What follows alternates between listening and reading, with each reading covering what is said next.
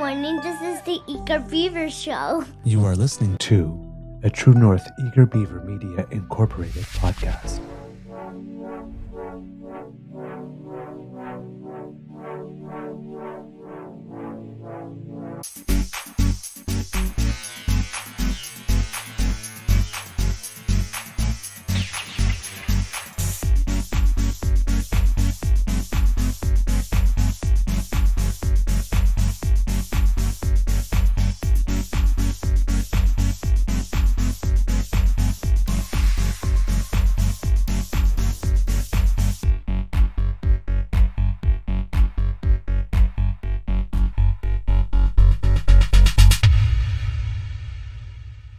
True North Eager Beaver podcasts are proudly brought to you by our founding sponsors The Misfit Mysteries from Corvid Moon Publishing, your source for science fiction, fantasy, and cozy mysteries featuring a broad diversity of characters. CanadianTarot.com, your uniquely Canadian online eclectic tarot community. And The Peppermaster, hot pepper sauces made from farm fresh ingredients to thrill your taste buds and expand your mind.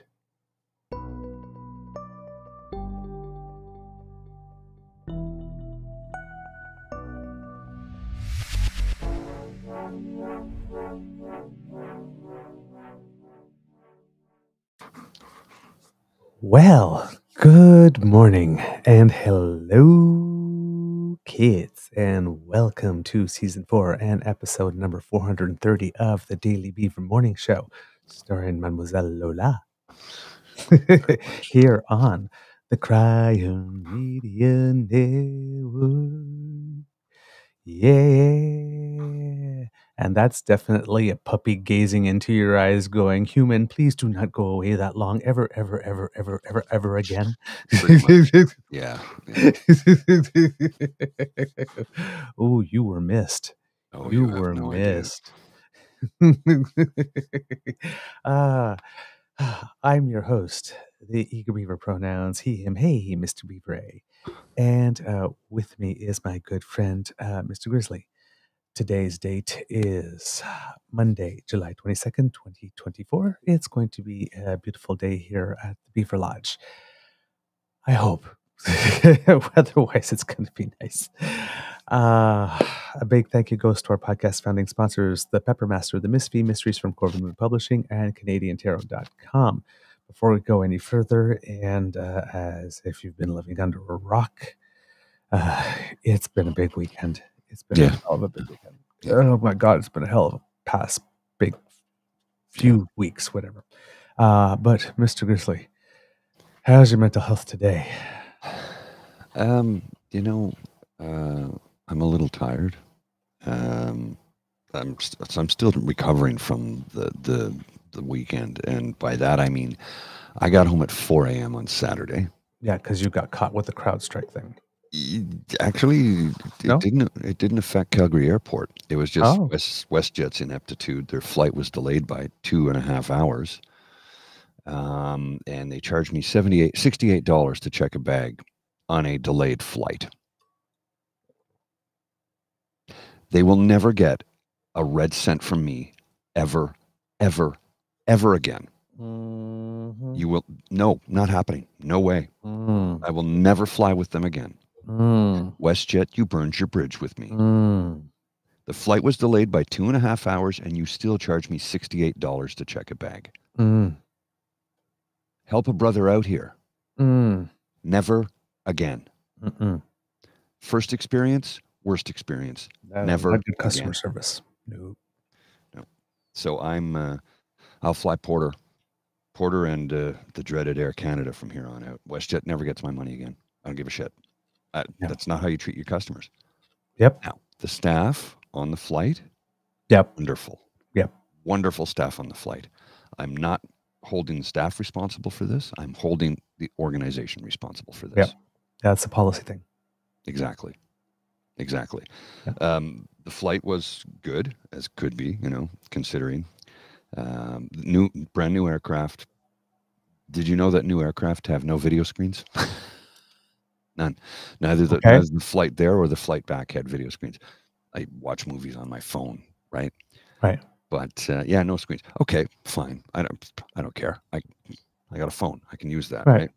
right? Uh, Porter has free Wi-Fi, free drinks, and free food.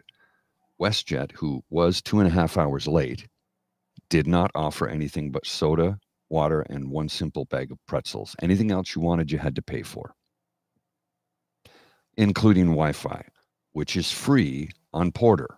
hmm So again, WestJet, you will never see a red cent from me ever again.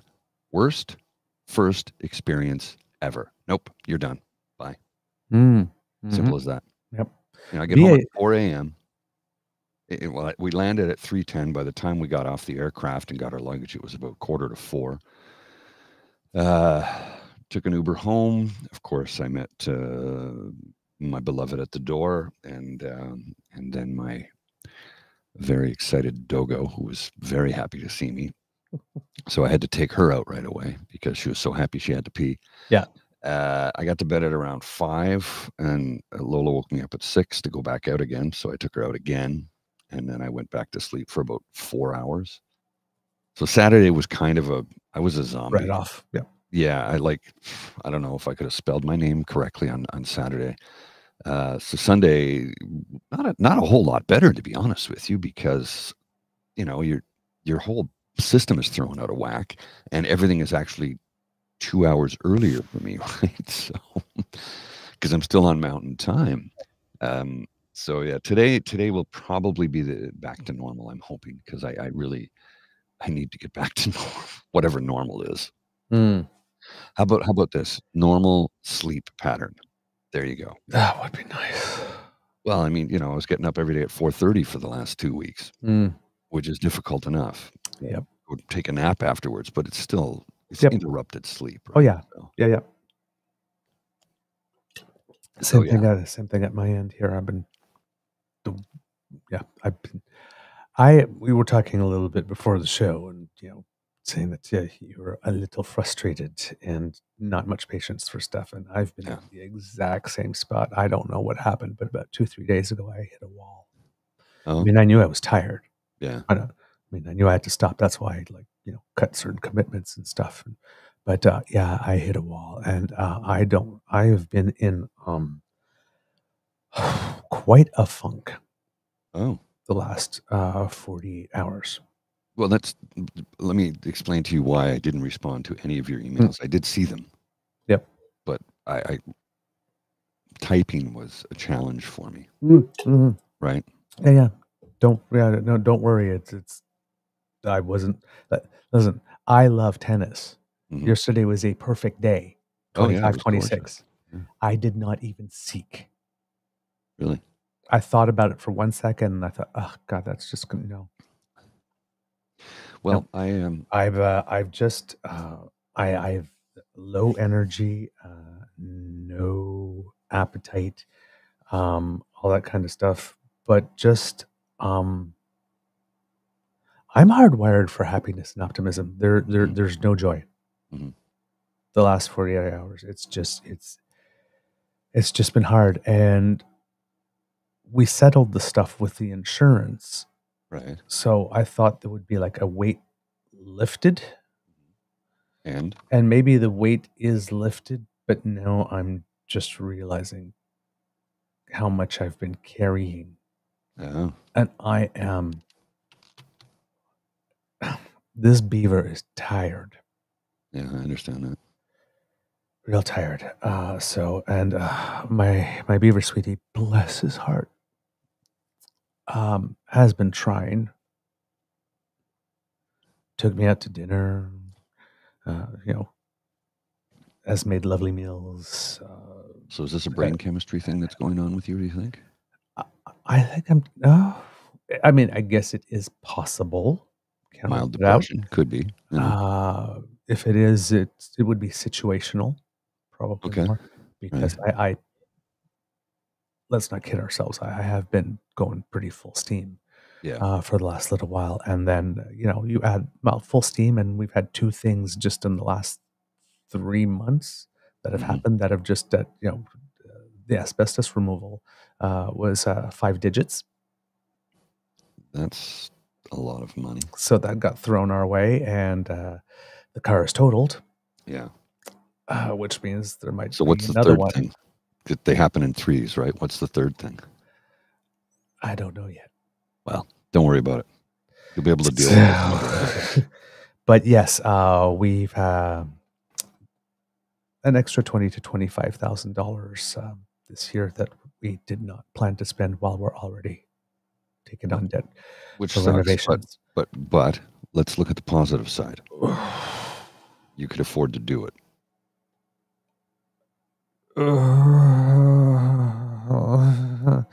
with loans and grants and stuff. Yes. But what I'm saying is you have access to that, right? yeah, yes, yes. We, we So you have got you got to.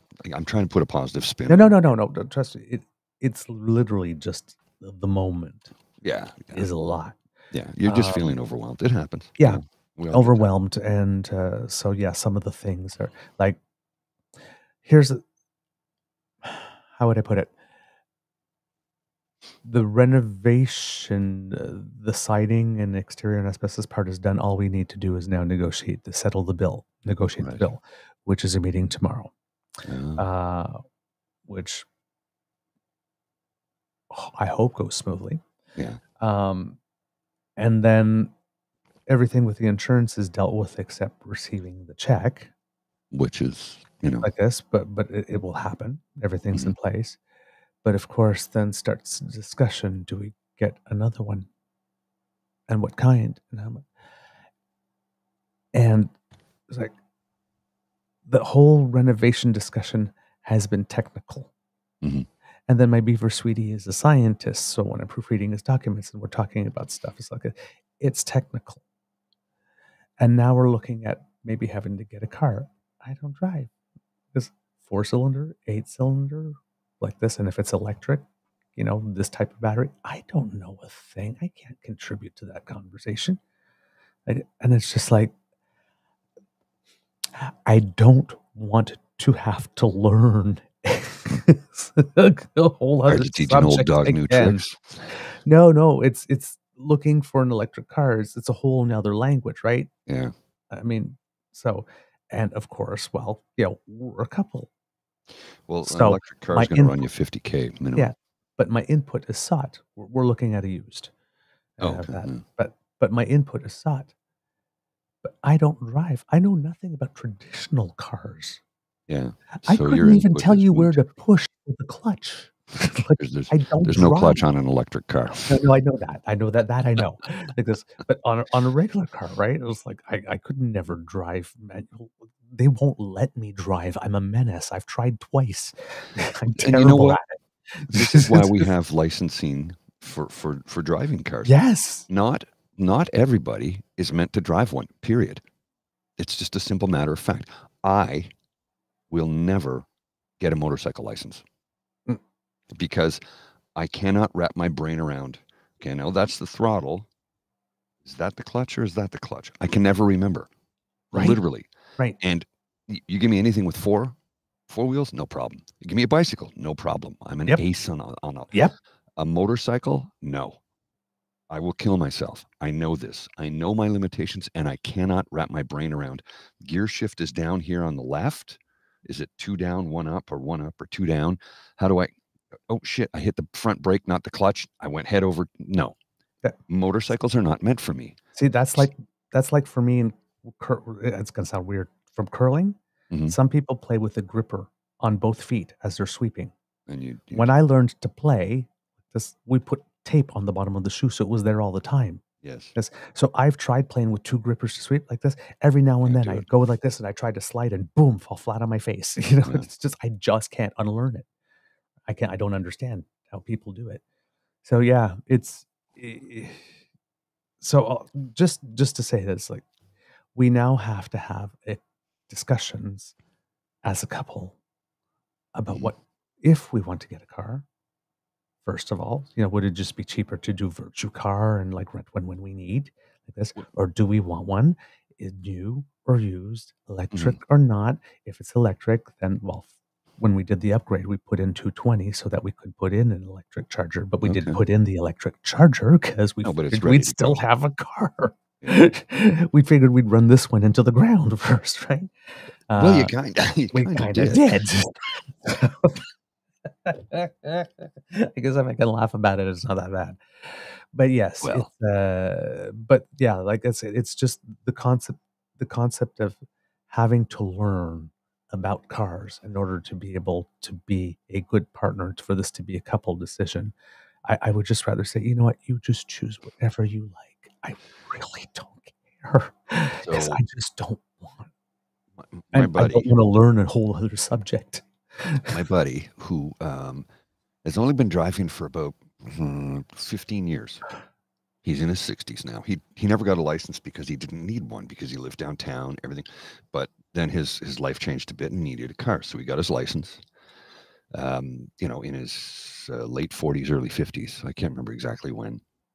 And uh, he's only driven automatic. He doesn't know how to drive a, a stick, uh, like most Gen Z.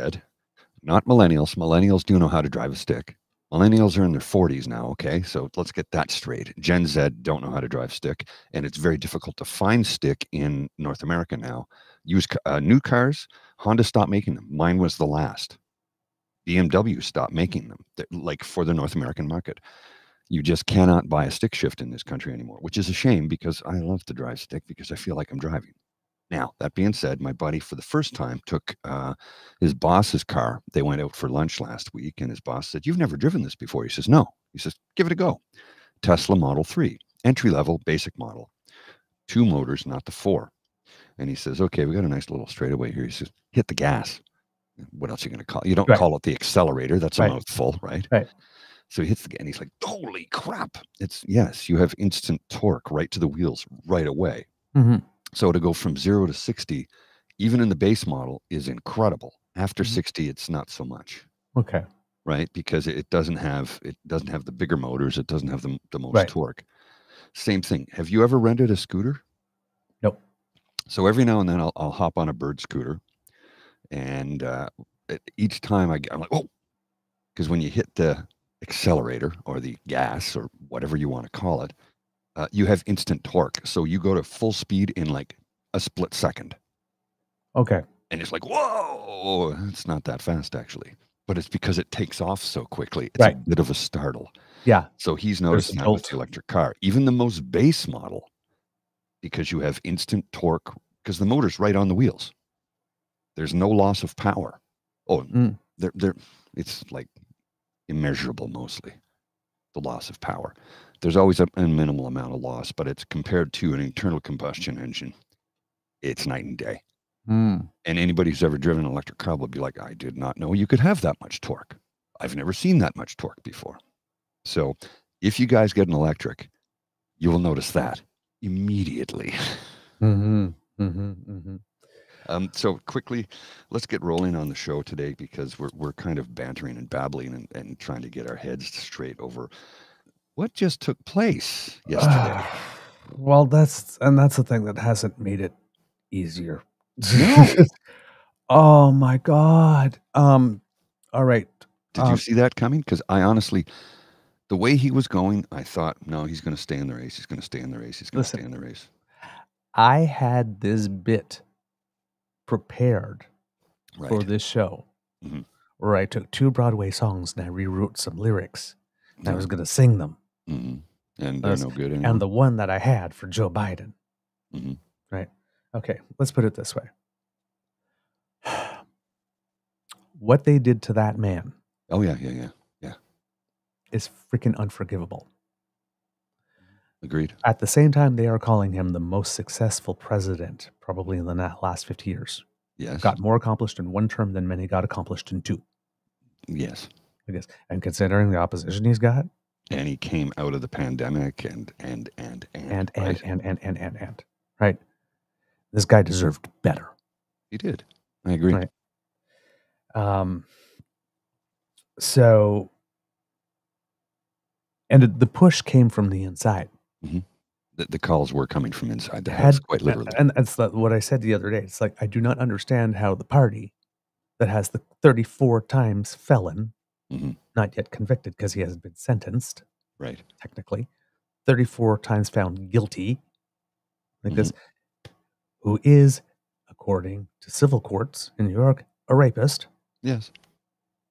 There's no denying it. E. Jean Carroll had him Because- convicted twice, and three times, twice. Yes. Don't know. Guess who ran a charity that was a Mhm. scam? Ran a university that was a scam. This guy who led an insurrection, this guy has the United Party against him, behind him. Yeah. I, and the most successful pre- doesn't. Yeah. Because he's so old. When the other guy's old, because he's losing a step. When the other guy's lost 50. Like, the, the, and it's been a whole, it's it's been a drumbeat in the media, and we have the same parallel here in Canada with Yeah. Justin Trudeau, not because he's old, but he's out of touch. People are just tired of him. People want him to go. It's just that drumbeat, constant, all It's a bullshit drumbeat, and I'm sick of hearing it. To be honest with you, I really, I was was sick of it with about Biden. I'm sick of it with Trudeau. I'm sick of it. But the Like, thing is, is stop. that the difference between Canada and the United States is that there's been like one or two people like this within the party, like a couple of Mm. MPs going on like this. It hasn't all blown out yet in public like this. But in the United States, right? It was everybody. About like when George Clooney did that thing, Yeah. like the, the fundraising just like dried up. Yeah. Right. And you had Nancy Pelosi, a man, a, a woman that this man has been behind every freaking step of the way. Yep. Turning around, going to the news and going, you know, Joe Biden really needs to make a decision. Mhm. When Joe Biden has said like 50 freaking times already, I'm still running.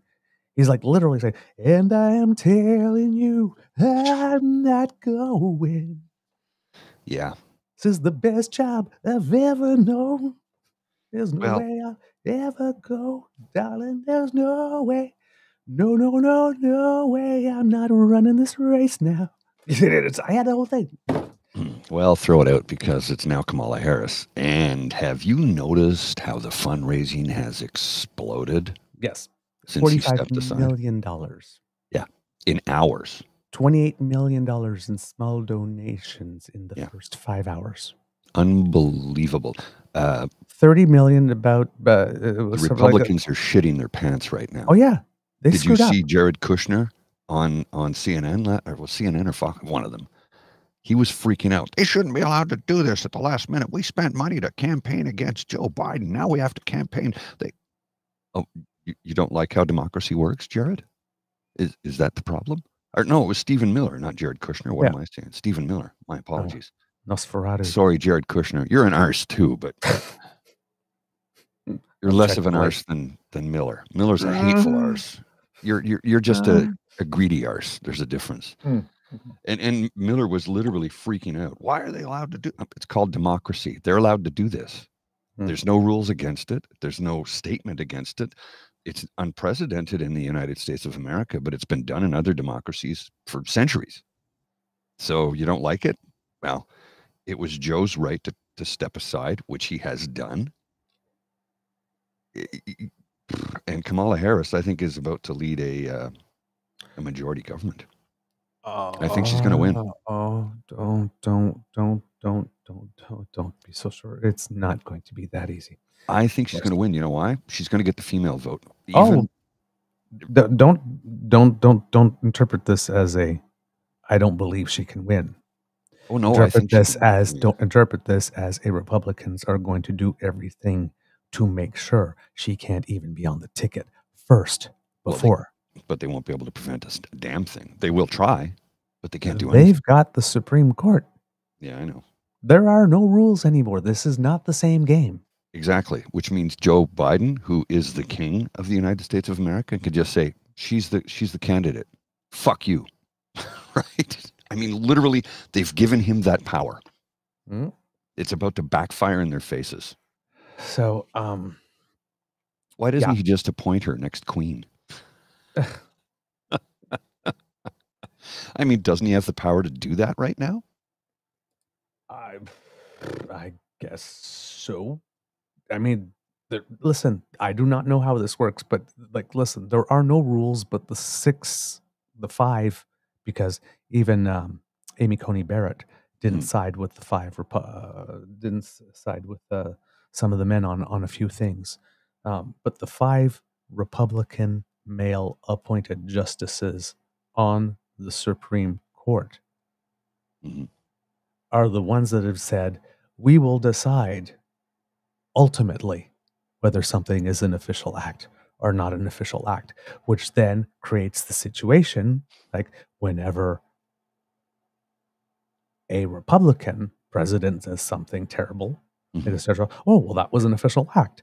And whenever a Democrat, assuming that there is ever another Democrat president ever again, goes, oh, well, no, no, that's not an official act. Mhm. The way that things are set up is that these five men get to decide what's official and wasn't what's, what's not official. And given that they just frickin' grabbed the founding fathers by the pussy on presidential immunity and kings, Mhm. Yeah. Because it's completely arbitrary. It's completely arbitrary. And then on the presidential side, should a Republican get in, you get the situation where, hey, I want to do something illegal. I want to have my my political enemies rounded up or killed. Well, that's illegal. I'm ordering you to do it. Well, that's illegal. Don't worry, I'll pardon you. Pardon you is my sole discretion, constitutional discretion, and that is not even to be questioned according to that. So go ahead. Literally, they have set things up for the White House to be the seat of crime, to be a mafia organization. And those five judges decide what is and what isn't official.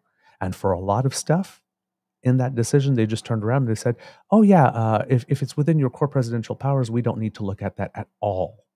Ever. Ever while also at the same time in another decision saying, "Hey, all you regulatory bodies, yeah, um, we're the experts now." But that's literally what they've created for themselves. So uh, it, it, it's a dangerous situation. So you have Biden, who was going to stay, and then being pushed by everyone, and literally everyone, Pelosi, Schumer, um, donors uh, started uh, cutting off the funds. Yes. So basically, they all pushed him. Oh yes. And there's this thing, there's an article that was spotted uh, by people uh, at the Daily Beans, which I, I consider our mother show. Mhm. Um, and um, see, I'm going all off because there's a whole bunch of things. But one of the reason they this happened, it seems, has to do with ratings. There was an uh, article uh, in CNN itself, and I can't remember what it is now. Oh darn! I had pulled it up this morning, and I had forgotten it. Uh, paid for ratings. CNN ratings dropped 96%, causing CNN. There we go. After the president's after the presidential debate, the CNN's ratings had cratered uh, 92, 96%. Basically, the situation that happened is that nobody wanted to watch the rerun. And media was getting killed. And basically, they were convinced that there was no way in hell that the Republicans would ditch their candidate for being old, Right. not all up there. So they started the Biden is so old thing. And they beat the drum and they beat the drum and they beat the drum and they beat the drum and they beat the drum. Now that drum had started before, but the debate thing just really then kicked it into high gear. Because people just said, you know, oh, this is over, this is done.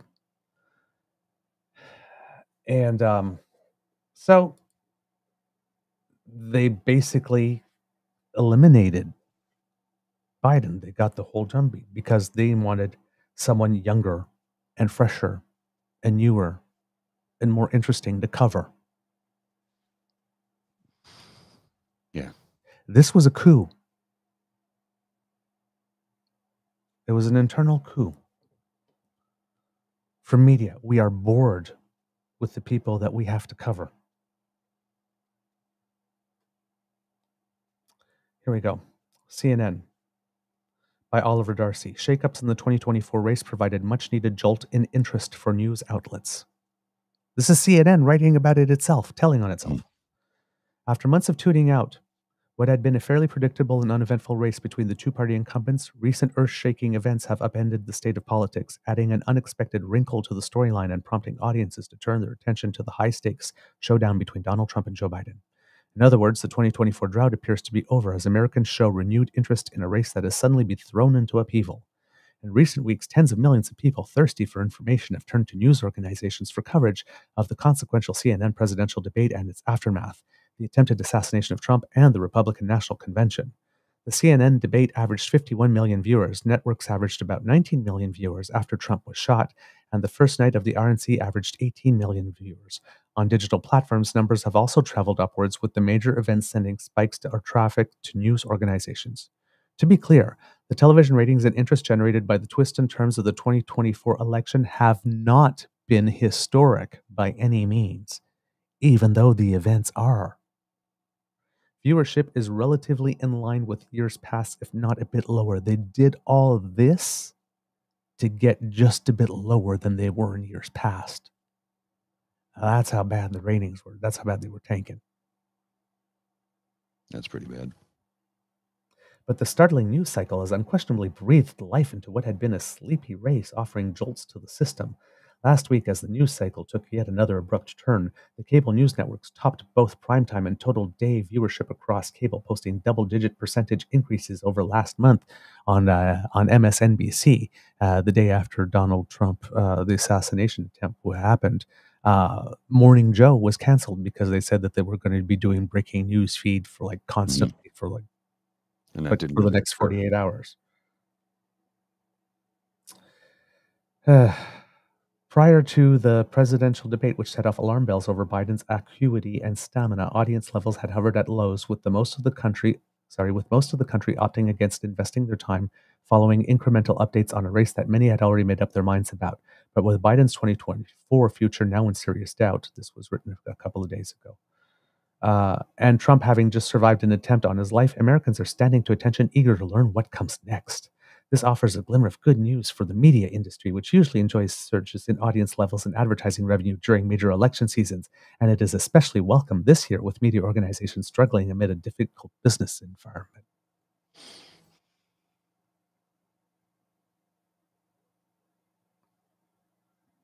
Are you freaking kidding me right now? No. no. I'm just so that's happened. And the reason why I sort of said eh, about Harris, it's not that she can't do the job. It's not that she's not good. In fact, there are some polls that have been recently that recently came out that was show, showing that um, you know she was actually performing a little better than Biden head to head. Did you did you know that in 2016 Donald Trump donated to her when she was a uh, yes, yes, yes, yes, and so, for example, the NP, NPR PBS Marist poll had Biden leading Trump 50 to 48. It was the only one of the four majors in which he was leading. This Harris leads 50 to 49, so it's a slightly wider margin. But if you look at the CBS News YouGov poll, Biden was trailing by five points, Trump 47 to 52 in that one. And this one, Harris Trump, it's 48 51. So it's three. So in, it shows there's a little bit of a gap. It shrinks a little, but there wasn't much difference. This is between July 7th and July uh, 21st. Mm-hmm. Uh, the numbers are about the same. Um, but where it becomes interesting is if you look deeper into the data. So, according to this article, uh, before the assassination attempt, both the president and Harris trailed Trump by two point margins among registered voters, though the actual percentages for each candidate was slightly different. Trump led Biden 45 to 43, while he took 47 to Harris's 45. In their matchup, both ballot tests fell within the poll's margin of error. Um, and then you get into uh, the other things, like, for example, within the black community. Harris slightly outperformed Biden among black voters, leading Trump among this demographic by 64 points, 78 to 14, which compares to Biden's 57 point lead among black voters, 69 to 12. So there's a seven point difference there that where she has an advantage. And the black community is particularly important to the Democratic Party. Mhm. They organize. Right. On the other hand, the NBC News poll showed that Trump doing slightly better among white voters when matched up with Harris instead of Biden, leading her by 16 points rather than 14. So he gets a little bump. It's only 2% more. Whereas the Republic, whereas the Democrats get about 7% more among the black community. Because, but Trump will get 2% more among whites. Uh, one of the biggest difference it goes beyond demographics, and this is when we're talking about registered voters specifically. Uh, among the roughly one quarter of Republican registered voters in the poll who said they were unsatisfied with Trump as the GOP's nominee, Trump ran ahead of Biden by 46.6317. But when Trump's opponent was Harris, most more of these dissatisfied GOP voters flocked to Trump. The Republicans' lead within that group grew to 57 points. So among so that's the racism factor here Mhm. among registered Republicans. It's like, yeah, you know, some of them may have chosen the couch instead. But oh my God, if the other, if the president might be a black woman, well, then, yeah, we're going to vote. So there's 11 points difference there. Right? So it's uh, the fact that she's black and female, and also, you know, let's not forget uh, part Asian. Uh, all those things uh, are probably going to, uh, you know, everybody that's worried about white replacement. all that Mm, kind of stuff. is, who cares? Yeah, Look, right? the white replacement theory makes me chuckle. Even if it were true, who gives a shit? Really? I know. How is this going to affect you? It's not. Get over it. Mm. Get over it. Th- That But- one just, just that one just kills me. That it's like the stupidest damn thing I've ever heard. It's inevitable that we're all going to be some shade of brown. Yeah. And then the other type of voter is uh, what they call third party interested voters, people that are interested in, were interested really in neither Trump or Biden. So in a head to head matchup, Trump took 32% and Biden took 31%. You add that up, that's 63. So that means a plurality had decided to make a two way choice, saying that they were either undecided or would pick another candidate or something else. When Harris was the choice against Trump, more of the respondents made a pick in the two way ballot test. The vice president went ahead of Trump among these other voters 46 to 39%, suggesting a higher upside with voters currently considering a third party candidate. Mhm. That's kind of very, very important. Uh, and then uh, the other uh, part, uh, for some reason, I don't see it in here, but I, I remember I read it. Uh, I think the other the other group, of course, is uh, independents, and I believe uh, when I was reading the article, uh, for some reason it's not here. Harris was doing better with independents than Biden. Mhm.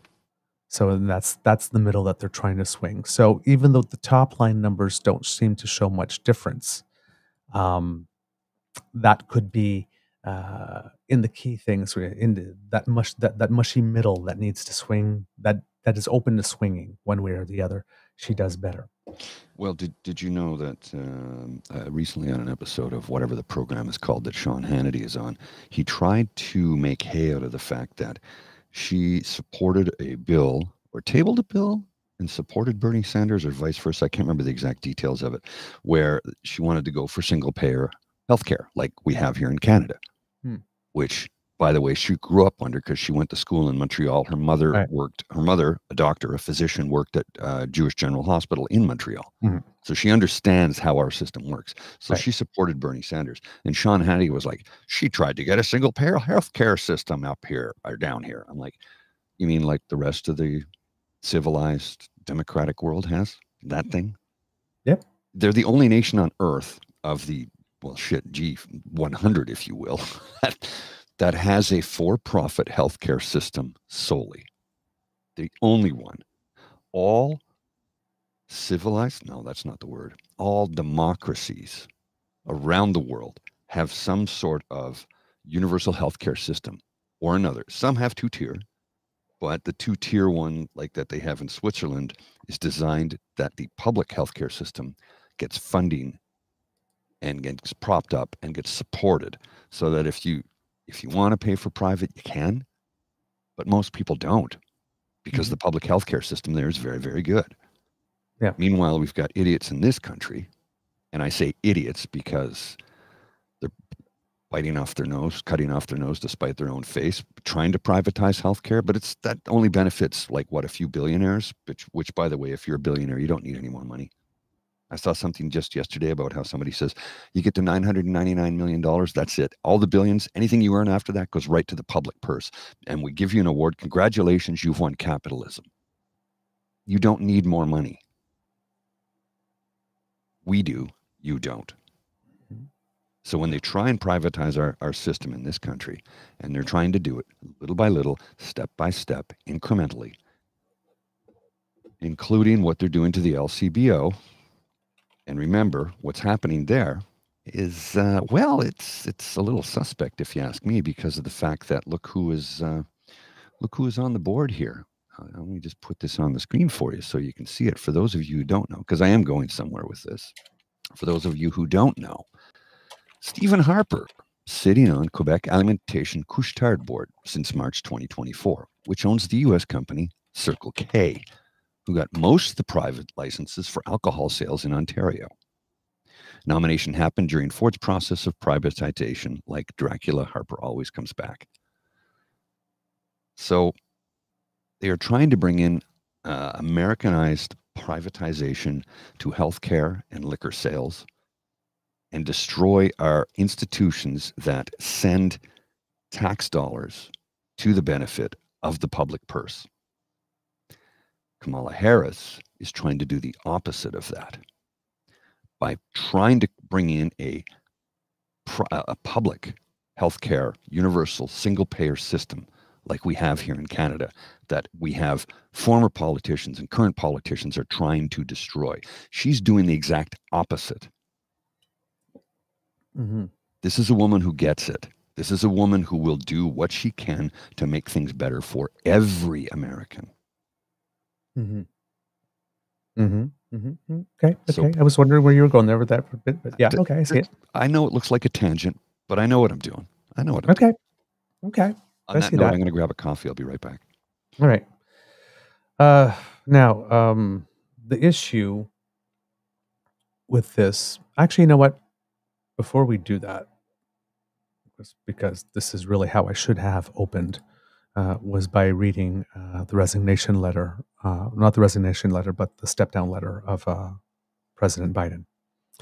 Uh, July 21st, 2024. My fellow Americans, over the past three and a half years, we have made great progress as a nation. Today, America has the strongest economy in the world. We've made historic investments in rebuilding our nation, in lowering prescription drug costs for seniors, and in expanding affordable health care to a record number of Americans. We've provided critically needed care to a million veterans exposed to toxic substances, passed the first gun safety law in 30 years, appointed the first African American woman to the Supreme Court, and passed the most significant climate legislation in the history of the world. America has never been better positioned to lead than we are today. I know none of this could have been done without you, the American people. Together, we overcame a once in a century pandemic and the worst economic crisis since the Great Depression. We've protected and pers- preserved our democracy, and we've revitalized and strengthened our alliances around the world. It has been the greatest honor of my life to serve as your president, and while it has been my intention to seek re election, I believe it is in the best interest of my party and the country for me to stand down and to focus solely on fulfilling my duties as president for the remainder of my term. I will speak to the nation later this week in more detail about my decision. For now, let me express my deepest gratitude to all those who have worked so hard to see me re elected. I want to thank Vice President Kamala Harris for being extra- an extraordinary partner in all this work, and let me express my heartfelt appreciation to the American people for the faith and trust you have placed in me. I believe today what I always have that there is nothing America can't do when we do it together. We just have to remember we are the United States of America. Uh, so he posted that at uh, 1:46 p.m. yesterday, and then not long after, because people started wondering, you know, does that he do? It was like, does that mean that he will uh, endorse Kamala Harris at 2:13 p.m.? So actually, so not that long after, my fellow Democrats, I have decided not to accept the nomination and to focus all my energies on my duties as president for the remainder of my term. My very first decision as the party nominee in 2020 was to pick Kamala Harris as my vice president, and it's been the best decision I've made. Today, I want to offer my full support and endorsement for Kamala to be the nominee of our party this year. Democrats, it's time to come together and beat Trump. Let's do this. So, the thing why it was a little mm, when Mr. Grizzly was saying she's got it. Um, this definitely puts her as the front runner, but uh, the convention hasn't taken place yet. And because Biden is no longer uh, in the running to be the candidate, Mhm. um, his delegates are uh, are free to do as they would. Um, now, technically, the ticket that all the delegates voted for was a Biden Harris ticket. Correct. So at least people voted for her.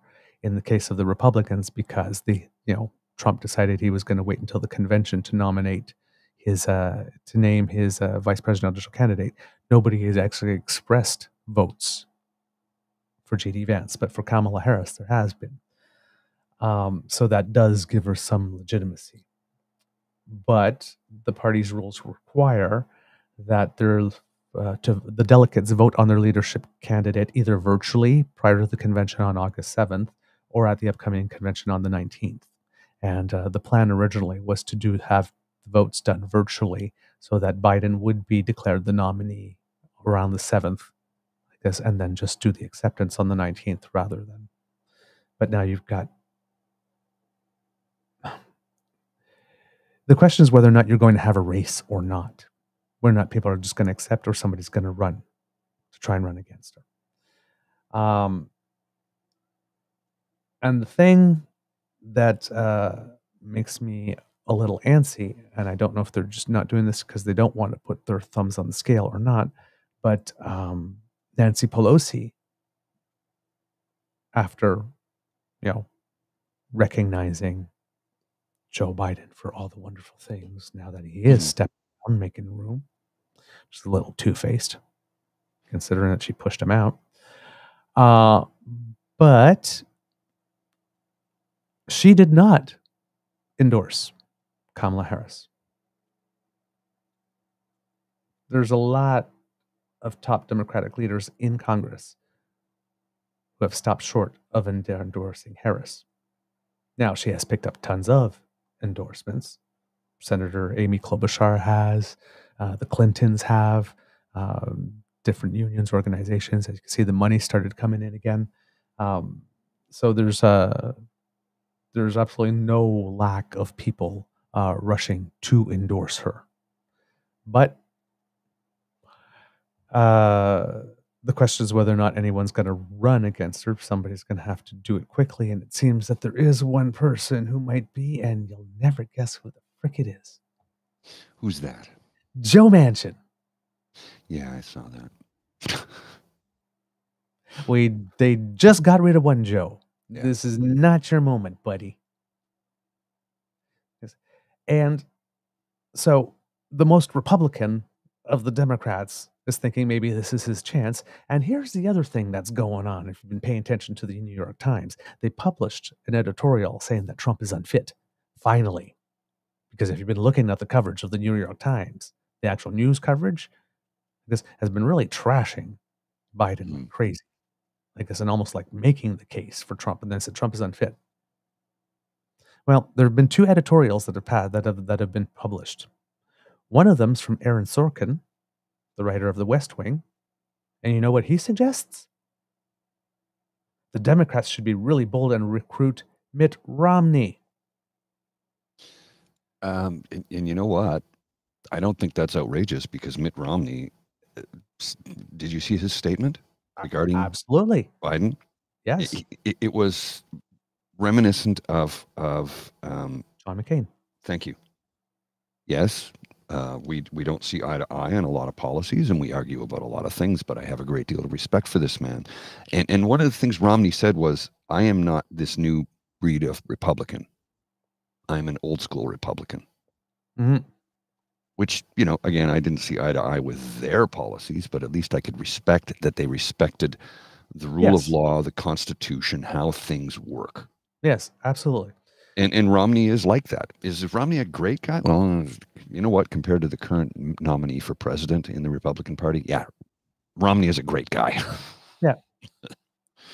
But so you see that, and then the other thing. Uh, oh, what was the other one? I had it. No, I lost it. Ah, darn. Uh, Can't remember. Um, but all these things is like, why is everybody proposing that there be a race between two Republicans? i don't know I don't know. they're literally suggesting that the Democratic Party pick a former Republican, or Joe Biden say, "Here's a time for the most Republican of the Democrats to run for the leadership." Uh, and like I said, there was, there was another story. I can't. I, I wish I could remember it off the top of my head. It was also New York Times. Another person that they were suggesting could be the person like this, which is like another damn Republican. Like what the hell? In all honesty, I think uh, their best bet would be to have uh, Pete Buttigieg on the ticket because the Republicans are scared shitless of that guy. Because have you seen him every time he's on Fox News? Yep. He Well, that- eviscerates them, but he does so politely in a calm and measured tone. Yep. And that's the other thing that becomes then who becomes the vice president if she gets it. But here's the thing is the Democrats, right, who had the reason to have every single every single advantage going into this election. They had a president that had done the most, they had, you know, a diverse ticket. Trump is an unsympathetic figure, right? Then all of a sudden the Supreme Court does something unexpected, well, expected or unexpected, but does go so far wide and makes a king that Judge Aileen Cannon drops the documents case, which was the one that's most likely for him to be, you know, convicted. Mhm. Because I mean, he did take the documents and he wouldn't give them back. I mean, it's kind of open and shut. Uh, and then he did a whole bunch of other stuff too. So you've got those two things going on, and then all of a sudden, you know, in a good economy and numbers are going to get better, interest rates are going to start going down, inflation's being curbed, whatnot, right? He's all set. And then all of a sudden, all this drama and everything's being upended. And now the Democrats basically go in disarray, this remove their leader, force him out. And now you're going to tell me this, that you are considering having a race when you have the first black woman? Considering what the black Mhm. community did to get you Biden as president in the first place, like this, you're, you're even going to entertain this concept? Well, I, I think a, a, a Buttigieg Harris ticket would not only be monumental, you could have a, a woman of color, a woman of color. Two things there as president. And the vice president is a married gay man Yes, with children with children. That would have the heads explode of every who can't speak to evangelicals.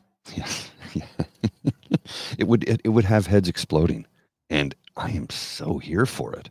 Well, same here. I mean, I said the same thing. You know, she has to pick, but there are like, for example, if she picks Senator Mark Kelly, for example, he's from Arizona. If she picks Governor Josh Shapiro, he's from Pennsylvania. It's a swing state, right? Mhm. There's a, you know, so there's other considerations, you know, and then everybody's like, oh, I don't know if people are going to be ready to vote for a black woman. I don't know, black woman again. Oh, it's like, you know, when I'm sitting there, freaking make some heads explode. Go get the kids, right? Go get the youth vote. Uh, show that you're changing. Another thing people are considering: how about an all-female ticket with Gretchen Whitmer of Michigan? Now, Whitmer and Newsom have both said that they uh, on the record before all this happened, saying that they weren't interested in being a vice presidential nominee uh, should Joe Biden have to leave. So I don't know if they're considering maybe throwing their hat in the ring for the leadership itself. Right. But if we get to the point, it's like, oh, wait a minute. We have a chance for a black female president. Well, she's The outgoing president endorses her, and other people are going to throw their hat in the ring to make it a cut. You're going to lose so many people. Going to lose so many people. Hmm. Because, but it's just, you know, you're sitting there and you're thinking, okay, there's been enough turmoil already. Let's just put Kamala in, let her choose her VP, make it nice and orderly, and all, you know, go shoulder to shoulder behind her and let's do this thing. If some, because there's always got to fucking be one, right? always. I want to run. Even like Joe Biden, when he was running like this, still Marianne Williamson and another person still decided. Like this, technically, there was a primary. There were other candidates. But I mean, like, there's always got to be one. So it's just like, do not do this to your base strategically. Do not create another avenue of on the news. Oh, somebody threw in a, is this racism? Do they want to get rid? They want to make sure that the woman doesn't get. They want to make sure that the black person doesn't get. They want to make sure that the East Asian, not the East Asian, but the part Asian person is like this. That's you. All that's going to do is start that off. Well, Kamala Just hand the torch. Kamala is black and South Asian, right? Yes, South Asian. Yes. And her husband is Jewish, and Pete Buttigieg is a gay married man with children. You're checking off all the boxes.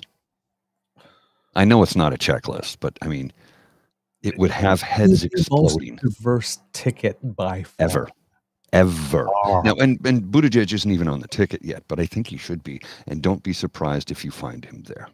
I wouldn't be surprised at all. I, and a lot of Democrats are calling for it, and I can understand why. He's smart He's the most effective communicator they got. by far. He will go where Republicans are and speak to them. Yeah. He's not Well, how many times he, he appears on Fox News frequently, Oh, yeah. and and every time he does, I'm like, why do you keep having him back? He just destroyed you, but he does it in such a polite, kind, non-condescending, And and informative manner. Yeah. Non-confrontational, non-condescending, informational. Like he, he he's just he's a great communicator. Yeah. Period. And interesting from Pete Buttigieg, July 21st, 2024. Joe Biden has earned his place among the best and most consequential presidents in our history. Americans are much better off because of his leadership and accomplishments. He always puts our country first, and he de- as he demonstrated today, and I know he will continue to do so for the rest of his term. Kamala Harris is now the right person to take up the torch, defeat Donald Trump, and succeed Joe Biden as president. I have seen her extraordinary leadership firsthand, working closely with her during the 2020 campaign and then in the historically effective Biden Harris administration. I will do all that I can to help her win this election to lead America forward as our next president. Um, I- I- Secretary of Transportation has already endorsed, instantly endorsed. Yes. Yes. So, you know, interesting. I, I think he's going to be on the ticket, but it, what Saucy Seawitch is saying here won't lie. Kind of want to see Katie Porter and her whiteboard. you imagine? you imagine? Boy, oh like boy. Oh boy. If you come for Katie Porter, you best be prepared because Hey, she is armed to the teeth with facts and numbers and knows her shit. And here's the thing. one I ever saw. The best one I Yes. ever saw was when she was debating with a well, not she was trying to inform a guy, and he said something to the effect, "Well, according to this book, blah blah blah blah." blah. She goes, he goes, "Do you know anything about it?" She goes, "Yeah, I wrote it." Yeah. and it was like silence. No, no, that's my book. I wrote it. I know about economics. Don't try and teach her what she already knows. Yep. I love it when they when they try and pull that stunt. Well, according to this book, you're wrong. No, I wrote that book. Yeah, that's that's me who did that. I, I was the one. Flip Thank it you. over. See. Yeah. Next page. Look at the next page. You stop. You didn't read the whole thing clearly because if you look at the next page, you'll see it supports what I'm saying right here, right now, in front of you. And if you look on Another- the flap on the inside cover, you will see my picture. My picture is on the damn book. Another rich old white man trying to mansplain shit to Uh. a vastly intelligent, uh, an accomplished woman who knows her shit, who, by the way, is a single mother who ha- and struggled for a very long time. She admittedly struggled. She says, "I know what it's like to balance a budget when you've got no ba- budget to balance." So, her as um, uh, I, I think appoint her as as the uh, supreme being of economic policy. She's somebody who would really get things done to help help the downtrodden. right? Yes, yep, she would.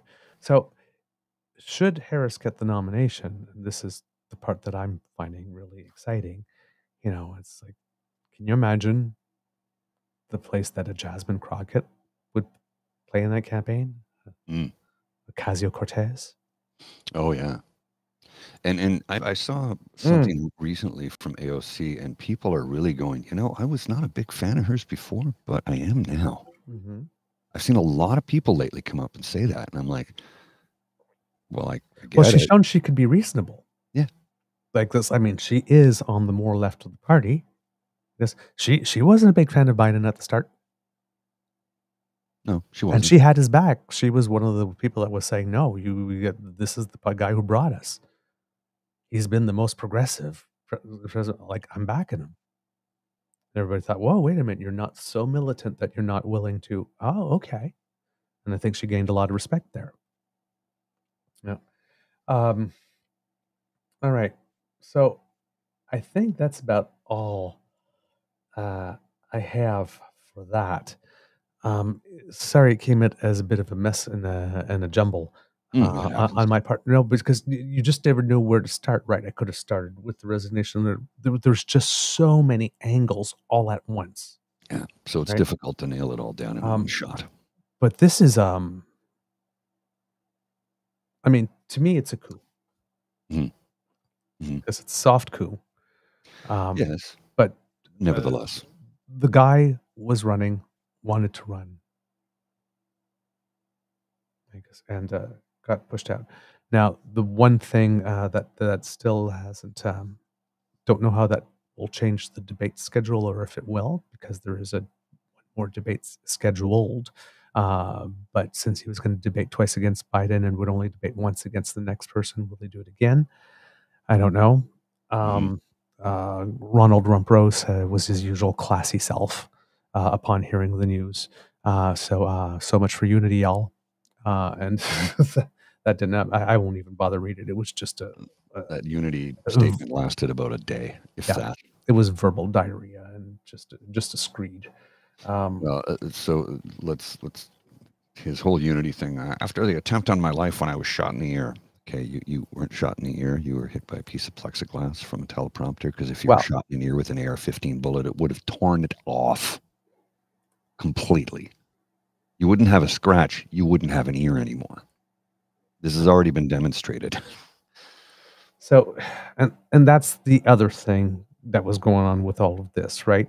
Um, it had been many, many, many, many, many. Um, there had been many requests for the medical report. Somebody tried to it. assassinate the president. Nobody's seen it yet. And then because um, uh, Biden came down with COVID, we're getting notes about the state of his condition, how it's progressing, what his prognosis is, but still nothing with regard to Trump.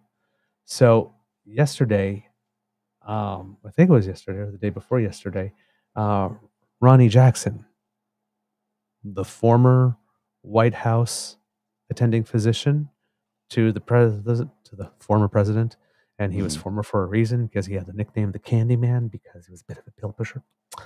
Uh, he was the one that said like Trump could live up to 202, 200 years old if he just stopped eating hamburgers or cheeseburgers or something. Yeah, that guy. So that guy put out a report saying, I've seen the president and like, oh, he's also lost his license to practice in a couple of places. As well. Yeah, he's a little. Uh, out of it. I've seen the president like this, and you know he's got this thing, and the bullet passed like a couple millimeters from his face, like six or seven millimeters more, and he would have gotten it if his face wasn't turned, and all that kind of stuff. And yes, there's lots of blood, and and he has a um, a bit of a, a a chip there, or like a, a little laceration or something, you know, the li- little piece that's missing or something. Um, there have been no medical reports have been hardly any attempts to view the medical team whatnot like this but on the cbs evening news with norah o'donnell um, there was a small little thing uh, a little clip where they got i think a small they must well they did have an interview with uh, dr i think his name's david uh, Riddinghouse or something like that, Mhm. who was the uh, emergency physician on duty at the time. And there's it's only a little clip; it's like 22 seconds. Um, but he said that the president didn't need stitches. The former president, should I say Mr. Trump, I should just say Mr. Trump, uh, didn't need stitches. Um, so here it is, Mr. Grizzly. I'll give it to you if you could put it up there. Sure thing. There you go. Uh, got this. I found this from a guy Alex Cole on Twitter, uh, but it is from CBS News because I went to uh, and it's authentic. I went to go look at the episode of the CBS News that this one was from, and this was it to see if there was more after I had heard this. But it literally is it. That's the only thing, hmm and that's the only thing I've been able to find. I've tried to find an interview with this guy. I've tried to find like this. nothing. nothing. Nothing. That's the only thing. So He somebody disappeared. this guy i don't know but this guy managed to get an interview with him somehow the guy Mm. did this but they only used about 20 like one little couple seconds The former president was treated at Butler Memorial Hospital. He did not require stitches. When I heard the call, you're thinking worst case scenario. Dr. David Roddinghouse says his staff coordinated with the Secret Service well in advance of the rally. It was surreal. Um, you know, you prepare for things like this, you don't necessarily prepare to receive a president or former president.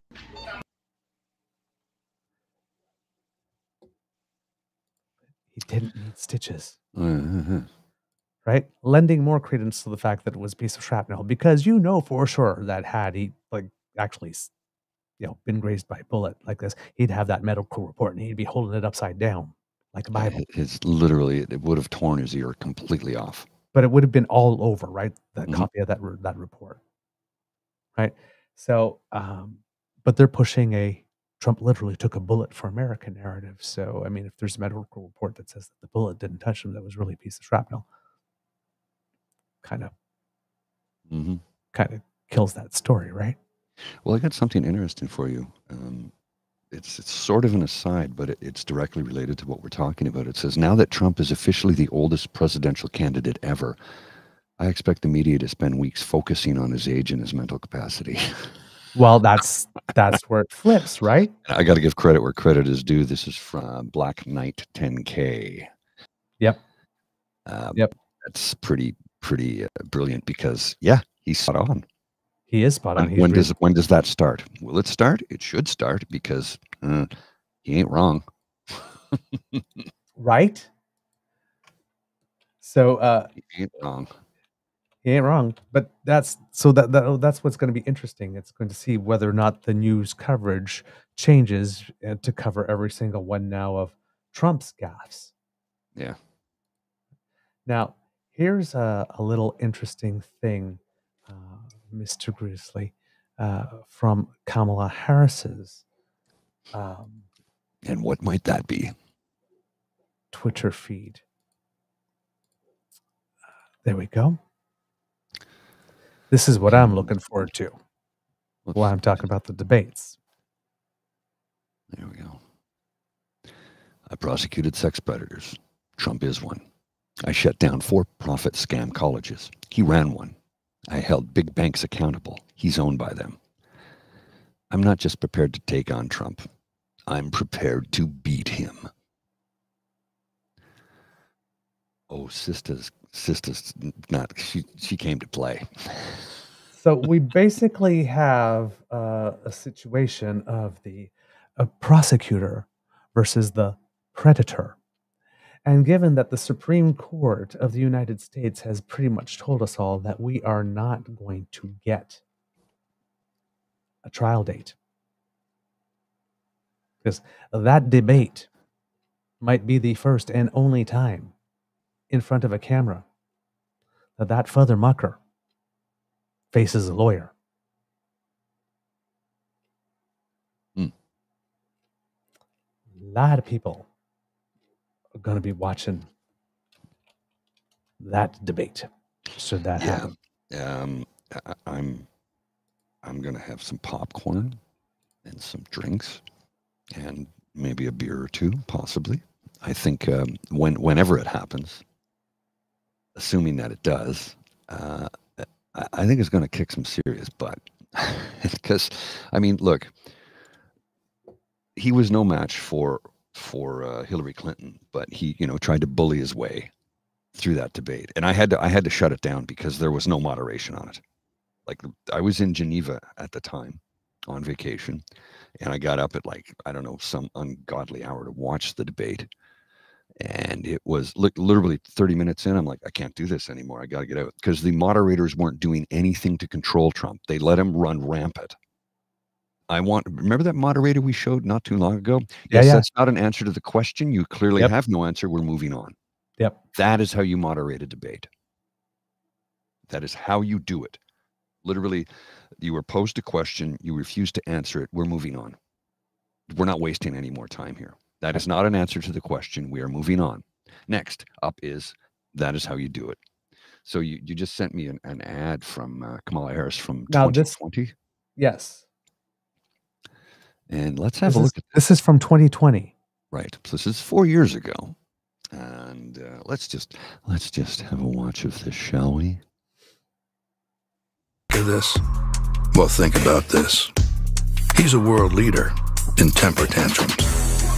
She never loses her cool. She prosecuted sex predators. He is one. Grab him by the She shut down for profit colleges that swindled Americans. He was a for profit college. At Trump University, we teach success. Literally. He's owned by the big banks. She's the attorney general who beat the biggest banks in America and forced them to pay homeowners $18 billion. He's tearing us apart. She'll bring us together. This is Trump. And in every possible way, this is the anti Trump. So if that's what you're looking for in your next president, there's really only one Kamala. Sick of this? Wow. Well, think about this. She could recycle that. Yeah, just recycle it. I mean, why not? It ain't wrong. She could recycle that. Word for word, verbatim. There's no need to even just, look. Let's save. I'm going to save us some money, folks. I already have it. It's right here. Just roll it. It's from four years ago. Uh, the only thing that's changed is he's a th- th- 34 felony counts that he he hasn't been um, sentenced yet. He's been convicted, but he hasn't been sentenced. Oh man. All right. We'll see what happens next uh, in that front. It's going to be interesting. Uh, at home, uh, kids and cubs, uh, because normally we start with uh, the wildfire stuff, and um, well, I mean, this was big, big, massive international news. So, you know, uh, we decided to do that. uh, let's see. I have some crowd strikes up, but yeah, let's let's do the the wildfire uh, thing here. Okay, I don't I don't have a whole lot of extra time this morning. I know I'm on vacation, but I'm on vacation. I have a lot of editing work to do today. Today will be the one work day this week for me where I'm going to try and get all the edits out of the way, get everything up to date on the audio version that we have. And uh, yeah, I got I've got like seven or eight hours worth of work ahead of me. And uh, Bridget is on her way over here shortly, and I have to take out Lola soon. So uh, we're going to have to wrap up shortly, and tomorrow we can do a, we can do a bigger, bit more of a deep dive into this. But uh, I do have limited time today, unfortunately. Okay. Uh, all right. Uh, kids and cubs, I guess that's the end of this episode of the, the Daily Beaver Morning Show. Uh, we hope that you love listening to us because we love making this for you. Remember that sharing is caring and word of mouth is priceless, so please tell your peeps and poops all about us. Uh, if you would like to support us and make sure that you do not miss an episode, um, you don't have to, thanks to the Ray Girl. Uh, she has sponsored our pod page, podpage.com slash uh, the True North Eager Beaver, lowercase letters with a hyphen between each one of those words. And uh, if you press subscribe there, when we have something fresh off the bandwidth, it comes directly to you. If you would like to help us in other ways, please go to our True North Eager Beaver Media Incorporated YouTube page and uh, click on our buttons there like, share, subscribe. We appreciate when you do that.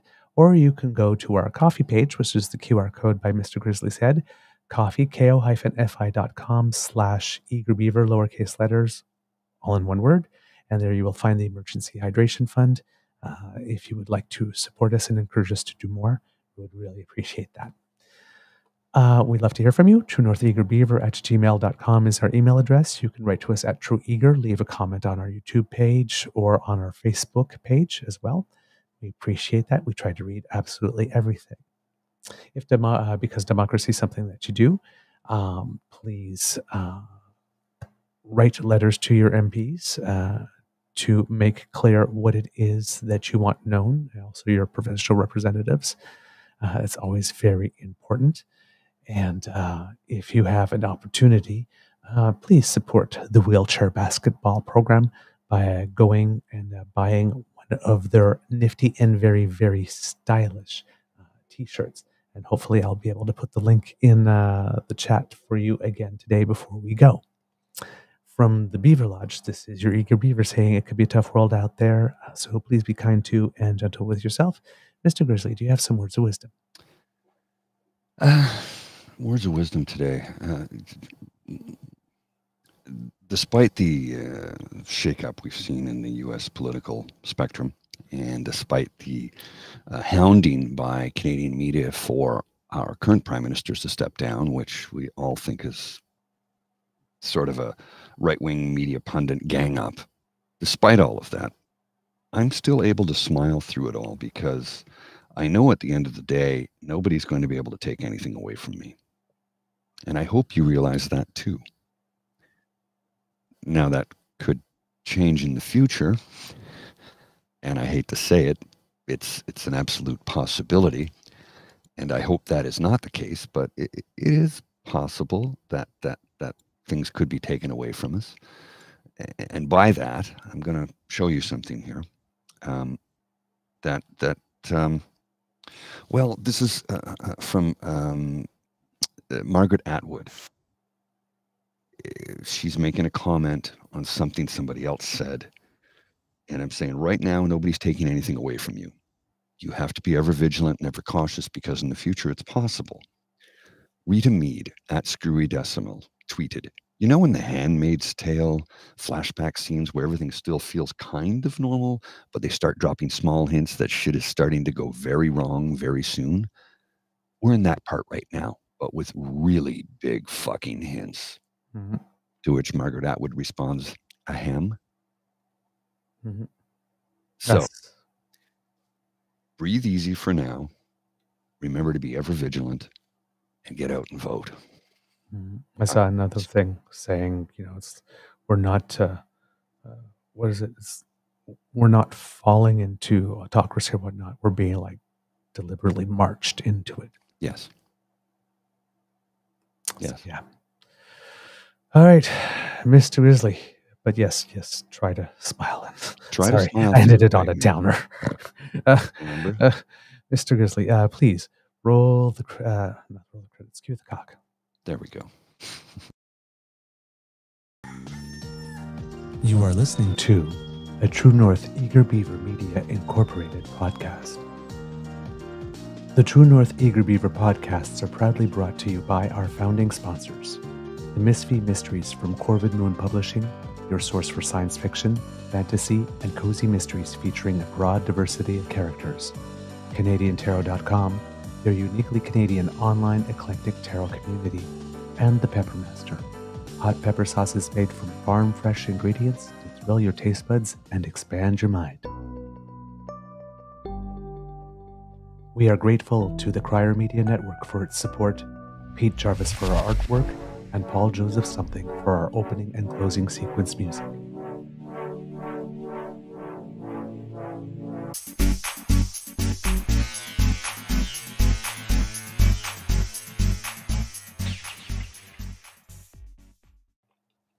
So right. I have a quick Easter egg for you. I know I understand you have one too. I'm going to show you this one quick because this relates to how we started the top of the show. And I think you'll find it very interesting because it's something that we need to do in this country, which we're not doing. So this is from Secretary uh, Pete Buttigieg. We have received reports of continued disruptions and unacceptable customer service conditions at Delta Airlines, including hundreds of complaints filed with the U.S. Department of Transportation. I have made clear to Delta that we will hold them to all applicable passenger protections. Delta must provide prompt refunds to consumers who choose not to take rebooking, free re- rebooking for those who do, and timely reimbursements for food and hotel stays to consumers affected by these delays and cancellations, as well as adequate customer service assistance. No one should be stranded at an airport overnight or stuck on hold for hours waiting to talk to a customer service agent. If any airline fails to honor its customer service requirements, let us know. And he then provides the website that you can do that to. And here's the comment from our friend David Moscrop. If this were in Canada, we'd just give them a bailout. Mm-hmm. I mean, again, started the show by saying my flight was delayed by two and a half hours and they charged me $68 to check. By the way, Right. my bag was a carry on. I Hmm. checked it because I had a shoulder bag and I had a, a bag with some goodies that I, you know, souvenirs and that sort of thing. Right. I checked it for that reason. $68. Flight was delayed two and a half hours. WestJet never gets my money again. First and worst. That's it. Their staff, their staff was lovely. Their staff was wonderful. Their organization, I have a problem with. Yep, yep. Uh, saw a couple of comments about uh, the fact that we're covering so much American stuff. Uh, absolutely, um, get it, but it's kind of historic It's stuff big news. that's going on. I mean, it's like when in our lifetimes has there been a president that's decided that they're not going to run in the middle of a campaign, that they're going to Mhm. step down? Uh, you know, since Reagan, when has there been an assassination attempt? Right. It's a It- lot. it's it's it's big news. It's Well, and- it's a political show. It's big news. It's a political show. We focus on Canadian politics, but it's politics and general culture. And even though that is US politics, it is kind of general culture that affects our culture too. So I think it's good that we lean into it. Uh, now, uh, my Easter eggs is a little bit of good news since I ended a bit on a downer there before going on. Uh, but um, a gentleman named Derek G, uh, Gee, who's a cyclist, and he will be competing at the Olympics, okay. became the third Canadian ever to finish in the top 10 in the Classification Générale of the Tour de France. Oh, Yes. that's why I know his name. Yes, because I read Yeah. about him the other day. So uh, he, uh, I think he got three top 10 finishes over the course of uh, the race. There's 21 stages. Some of them are time trials. The end was a time trial. Usually the last time trial ends on the ground, you know, grand and going through the Champs-Élysées and whatnot. But because of Olympic preparations, uh, it was uh, one from a, a ride from a, Monaco to Nice, I think Mhm. instead. Um, but uh, he finished uh, sixth in that time trial, which uh, clinched the ninth place overall. Like I said, that's a big thing race. There's like 160 riders when Yeah. it starts. It's like one of the most noted sports events all around the globe. And Mhm. Canadians have finished top 10 only twice before, right before the Olympics. Very picks cool. up. So he's ready. Uh, big congratulations as well to uh, Team Canada, uh, our volleyball players. I think the girls under 19 team, if I'm not mistaken, Okay, so Uh, that that would be girls. won then. the- Yeah. yeah, that just won uh, the Pan American uh, Cup, defeating the United States three games to one, uh, three sets to one in that one. And then uh, in basketball, the World Under 17 Championships for women uh, were going on. And uh, Canada was playing in the final, I believe, against also against the USA, and for some reason, or is that tonight? I might be mistaken. Yes, played against the final. Unfortunately, they lost 84 64, uh, but picked up uh, the silver medal, the World Under 17 Women's Championships. Nice. So the future is really, really good. Kids are all right. Yeah, We've the, the Olympic uh, coverage. I think kicks off Thursday. The Parade of Nations is on Friday. I will be watching as much of it as I possibly can. I go back Mhm. it's Monday, so a week from today. So I'm going to. Uh, I'm not going to. Like I said, today will be my working day where I'm going to get all the edits and everything out of the way so that I can enjoy the rest of this week uh, worry free. There is some uh, competition Thursday and Friday. Team Canada's first in action, I believe, on Friday, 10:30 a.m. Eastern. I believe our Mhm. Canadian women's soccer team takes on New Zealand. Oh, outstanding! Yes, prior to the opening ceremonies. So there you go. All All right, right. kids and cubs, have a beautiful day, I'll see you. and try not to let the events get ahead of you.